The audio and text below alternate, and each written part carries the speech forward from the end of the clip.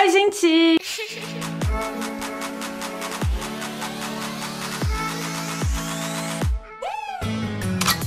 J'espère que vous allez bien, aujourd'hui on se retrouve pour une nouvelle vidéo et on se retrouve pour une nouvelle JVDT sur ma chaîne. Donc vous connaissez déjà le concept, je vais me raconter des petits dramas sur les stars, des petites choses qui se sont passées, leur parcours. Et aujourd'hui on va parler de la belle Ariana Grande. J'ai eu beaucoup de demandes sur Ariana Grande et j'ai eu également beaucoup de demandes sur une TikTokeuse. Et quand je me suis renseignée sur les deux, je me suis rendu compte que c'était la même affaire et que les deux étaient reliés. Donc on va parler de cette TikTokeuse en question qui a un peu contrarié Ariana Grande. Avant que la vidéo commence, n'oubliez pas de liker la vidéo, de vous abonner. N'oubliez pas qu'on arrivera à 200 000 abonnés. Il y aura une semaine entière de JVDT sur ma chaîne. Donc c'est l'occasion de s'abonner. Et n'oubliez pas également dans les commentaires de me donner des idées de JVDT que vous aimeriez bien voir sur ma chaîne prochainement. Mais pour l'instant, on va s'en tenir à Ariana Grande et on va attaquer cette JVDT. Premier personnage de cette JVDT, Ariana Grande. Est-ce que je dois vraiment vous la présenter? Je pense que tout le monde sait qui c'est. Pour ceux qui ne la connaissent pas, Ariana Grande est une chanteuse et actrice. Elle a commencé sa carrière quand elle était très très jeune, mais elle est surtout devenue connue avec la série Victorious sur Nickelodeon. Dans cette série, elle joue le rôle de Kat Valentine, qui est un personnage un peu bébête, naïve, on va pas se mentir, et Ariana a dit dans beaucoup beaucoup d'interviews qu'elle ne s'identifie pas du tout avec ce personnage et que c'est quelque chose qu'elle veut laisser derrière elle. Est-ce que c'est la vérité ou elle veut tout simplement cacher ce qui aurait pu se passer pendant ces tournages puisque le directeur de cette série était également Dan Schneider qui était un mec avec des délires un peu bizarres qui a été accusé pour des choses un petit peu graves. Il y avait d'autres scènes pas mal bizarres également où on voit Ariana Grande allongée dans un lit et se jeter de l'eau dessus et faire des gémissements, genre des choses qui peuvent être super mal interprétées. Mais pour ça je vous laisse aller voir la JVDT sur Dan Schneider où je vous explique tout ce qui s'est passé et on parle également d'Ariana dans cette vidéo. Donc je vous la laisse juste ici. Et maintenant on passe au deuxième personnage. Donc vous avez Ariana Grande et voici le deuxième personnage. Non, ce ne sont pas les mêmes personnes. La deuxième personnage s'appelle Paige. Paige est une TikTokeuse énorme. Elle a plus de 10 millions d'abonnés sur TikTok. Et son contenu, c'est tout simplement être Ariana Grande, être la sosie d'Ariana Grande et faire des contenus où on va pas dire qu'elle passe pour Ariana Grande, mais franchement, quand je la vois dans mon feed, je pense que c'est Ariana Grande et je me dis putain, Ariana, elle a du temps à perdre quand même pour faire des, TikTok. Et je me rends compte que non, c'est bel et bien Paige parce que moi, personnellement, je trouve qu'elle se ressemble comme deux gouttes d'eau. Et là, je suppose que vous attendez que le thé chaud arrive puisque vous vous dites ok, elle se ressemble et c'est quoi le drama? Mais le drama arrive à l'instant. Vous savez, dans le monde, il y a beaucoup de gens qui ont des sosies et je trouve ça super flippant et impressionnant à la fois. Moi-même, j'ai déjà fait une vidéo où je réagis à mes soi-disant sosie d'après vous. Moi-même, j'ai rencontré une fille que sur les photos me ressemblait comme deux gouttes d'eau. Je vous mets les deux photos. Il y en a une, c'est moi. Il y a une, c'est pas moi. Bref, donc ça existe qui est des sosies. Mais Paige, voilà, elle, elle a commencé à faire quelque chose qui a un petit peu dérangé Ariana Grande. Qu'est-ce qu'elle faisait, Paige? Elle a commencé à faire des sortes de playback où elle imitait Ariana Grande à l'époque de Victorious. Donc en fait, elle avait la perruque rouge et elle faisait des TikTok où elle disait des répliques de la série Victorious. Beaucoup de gens que c'était Ariana Grande. Parce que les vidéos ont commencé à tourner sur Twitter, il n'y avait pas le arrobas de page, donc les gens pensaient que c'était vraiment Ariana. Et Ariana, c'est quelque chose qu'elle veut oublier. Et là, c'est revenu à la surface. Et les gens étaient là en mode, oh my god, ça me manque tellement l'époque de Victorious. Oh là là, Ariana à cette époque, c'était trop bien, elle était trop mignonne. Et Ariana, elle, elle voulait enterrer cette phase de sa vie. Et donc, elle est venue sur Twitter avec un petit tweet. Elle a tweeté ceci. Je me demande juste pourquoi la voix de Kat. Je suis sûre qu'elle est super mignonne, mais c'est super bizarre de voir les gens mélanger les deux mondes. Les gens, ils ont compris que ça avait dérangé Arena Grande, même si à aucun moment elle a mentionné euh, Paige ni quoi que ce soit. Mais Paige a continué sa vie et elle a commencé à gagner beaucoup, beaucoup d'abonnés. Et bien sûr, elle a commencé à être appelée pour faire des interviews. Et je vous laisse avec cet extrait pour que vous voyez à quel point même la voix, elle ressemble. C'est vraiment super, super flippant. What did you feel like when you saw that that tweet acknowledging your TikTok videos? I was so shocked like that she noticed me. She's like really nice and I kind of thought it was cool she noticed me. She said I'm flattered. She just wanted to let me know that I'm beautiful in my own way and I said thank you and thank you for being so kind to me and she said like i'm proud of you that's amazing yeah did you reach out first or did she reach out? she out reached first? out to me when you see a dm from ariana i mean where does your mind go? I was just like shocked, like like like she's my idol, so I'm kind of like shaking a little bit. Did you guys talk about potentially meeting ever one of these days? Yeah, she said like let me know if you're ever going to my sweetener tour, like we can grab a hug. Les gens, suite à ça, ils ont interrogé Paige sur Twitter en mode show the receipts et Paige a jamais montré les screens de cette conversation avec Ariana Grande. Franchement, vous le savez, depuis que j'ai commencé les JVDT, je suis méga, méga méfiante. C'est vraiment quelque chose qui a énormément changé. C'est que maintenant, je ne crois plus les gens s'ils montrent pas des preuves. Tant que je vois pas des preuves, j'y crois pas. Après, c'est vrai que la personne en soi, elle a aucun compte à rendre. C'est vrai que moi, si je dis quelque chose et on vient me dire, ben sors les screens, je vais dire, ben je fais ce que je veux. Si j'ai pas envie de sortir les screens, je les sors pas. Et Paige n'a jamais voulu montrer les screens, donc c'est quelque chose que les gens se sont beaucoup interrogés le pourquoi elle a jamais voulu le montrer. Et puis j'ai un peu du mal à y croire que Ariana Grande ait du temps à perdre à déjà de 1 envoyer le message en premier, dire qu'elle est flattée. Je pense pas qu'elle aurait utilisé ce terme en disant qu'elle était flattée, alors qu'elle a clairement fait comprendre que ça l'a dérangé. Mais bon, moi personnellement, j'y crois pas, mais on continue. Paige a continué à gagner encore plus de visibilité et bien sûr, elle a été appelée pour faire des podcasts, des interviews sur YouTube des interviews carrément à la télé. Et le truc, c'est que là, en fait, son contenu sur TikTok, son contenu dans les interviews a changé. C'est qu'elle jouait le rôle de Kat en tant que Ariana Grande. Donc, elle était plus avec la perruque rouge où on associait les audios de la série Victorieuse avec le personnage de Kat. Non, là elle le faisait avec l'image de Ariana Grande et c'est là que ça va vraiment déranger parce que les gens ils associent de plus en plus le personnage de Kat un peu bébête, un peu voilà à Ariana Grande et c'était tout ce qu'elle ne voulait pas. I love that they call this a catwalk because my name is Kat and look, I'm walking.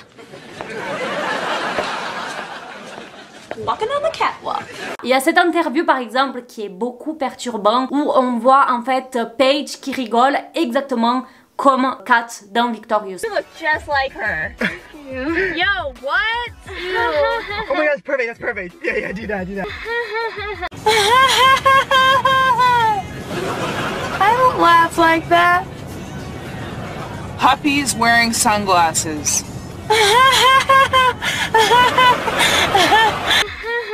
Mais c'était plus grave qu'avant parce que c'était pas juste des TikTok. Là, il y avait beaucoup de choses qui ressemblaient, la gestuelle, la façon de parler. Elle faisait même semblant d'être myope, les gars. Et Paige faisait exactement la même chose alors qu'elle a zéro problème de vue. Ou sinon, elle faisait des, les petits rires pareils. Lever le sourcil d'un seul côté, mais des trucs de ouf. Ariana a remis un tweet en disant La plupart des personnes pensent ça de moi. J'ai l'impression que je vis dans un monde où personne ne m'a jamais entendu parler, à part dans cette émission. Mais tout va bien, c'est une fan et elle est mignonne, le rire de Kat était très très bien fait. Et du coup sur Twitter, c'était un peu la guéguerre des gens qui défendaient Paige en mode mais c'est juste une fan, elle fait ça parce qu'elle est trop fan de toi et toi t'es là, tu la dénigres un peu. Et les gens qui étaient fans de Ariana Grande, qui connaissent l'histoire et qui savent qu'elle n'aime pas cette époque de euh, Victorious. Puis sorti de nulle part pour pimenter encore plus le truc, il y a quelqu'un de la famille de Paige qui a décidé s'exprimer. Sa sœur, elle s'appelle Gabriella et elle a tout exposé sur son Facebook le 26 novembre 2020, donc l'année dernière. Et voici euh, ce qu'elle a écrit. Voici ma petite sœur, elle a 15 ans, elle n'a pas été en cours cette année. Elle parle à des hommes plus vieux, tout ça dans le but de chercher la notoriété. Elle prend des photos provocatives, sa mère est une narcissiste et attendait qu'une de ses filles devienne connue pour profiter de son argent. Sa mère la met dans des situations inappropriées, mais pourtant tout le monde est fier, tout ça me dégoûte. Et là, les gens ils sont venus à se questionner, ok, est-ce que Paige, elle fait ça parce qu'elle aime faire ça ou est-ce qu'elle est obligée de faire ça? Quelqu'un a vu le message de Gabriella et lui a envoyé un message en privé en demandant des explications et en posant des questions et Gabriella a tout, tout répondu. Elle a dit que sa sœur c'était une fille très très adorable et que c'est sa mère qui lui a fait comprendre que la seule façon d'être heureuse c'était en étant célèbre. Elle leur disait que si elles étaient pas à l'aise devant les caméras, elles ne valaient rien dans la vie et elles iraient nulle part. C'est horrible. Et ils ont vu qu'en fait Paige, elle ressemble pas tant que ça à Ariana Grande. Ils ont regardé des photos d'elle qui dataient d'il y a 3-4 ans, mais elle ne ressemblait pas vraiment tant que ça. Il y a même des rumeurs qui sont sorties en disant que sa mère l'avait obligée à faire de la chirurgie esthétique pour ressembler à Ariana Grande. Je pense pas qu'elle est passée par la case chirurgie esthétique. Moi personnellement j'y crois pas trop mais je vous dis quand même ce qui a été dit euh, sur les réseaux. Les gens bien sûr ont continué à creuser dans cette histoire pour savoir si Paige était en danger, avec qui elle habitait et sa sœur une fois de plus s'est exprimée en disant non elle a déménagé chez son père dimanche, tout le monde dit que ça va aller mais notre horrible mère va déménager là-bas dans 4 semaines pour être sûre que ma sœur fera du mannequinat ou je ne sais quoi d'autre que ma mère aura envie. Elle dit aussi que sa mère l'avait retirée de l'école pour qu'elle se concentre entièrement sur les réseaux sociaux. Donc ça, je trouve quand même que c'est abusé. À la limite, si tu veux arrêter les cours après que tu eu le bac et que tu veux consacrer une année sabbatique pour voir si t'arrives à réussir sur les réseaux, ok, mais là, euh, elle a quand même retiré avant qu'elle ait ses diplômes, quoi. Enfin, je trouve ça ouf. Elle finit tout ça avec une photo en disant pourquoi devrais-je désactiver mon compte quand toute ma famille me déteste déjà dans tous les cas vu que je vous ai dit tout ça?